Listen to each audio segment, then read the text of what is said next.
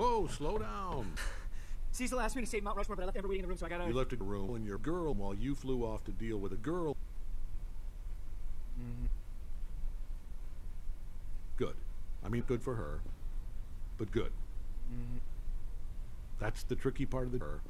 Mm-hmm. Mm-hmm.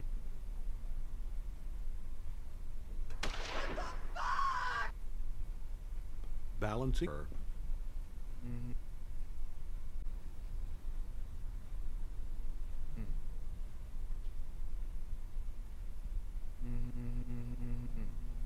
17 more years?